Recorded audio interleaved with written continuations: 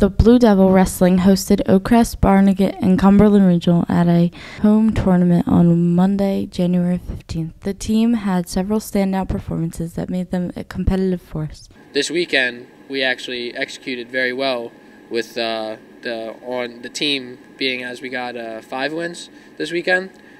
Andrew Mays finished with uh, three pins. Um, I finished with two pins and a two to one victory. Um, Dome Police also had a couple wins.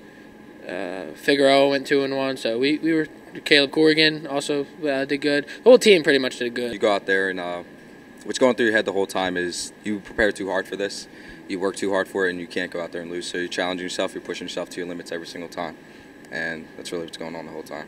I like the high intensity of wrestling, and I love how it's kind of like even though it's a team sport, you're the only one out there, and it's basically it's either on you or it's on you know it's not on the team. If you lose, it's you're the one who lost, so everything's on you. By the end of the day, they defeated Cumberland and Barnegat but lost to Oakcrest. The team will compete next on the 24th at Highland.